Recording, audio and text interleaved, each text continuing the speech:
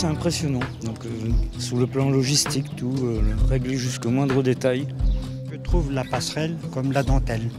C'est quelque chose de, formidable pour le centre-ville. Euh, je trouve que ça donne un petit peu de modernité dans le quartier. Euh, je trouve ça plutôt sympa.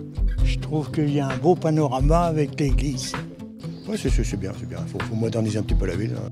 Et puis j'espère que ça, ça attirera les Alençonnais.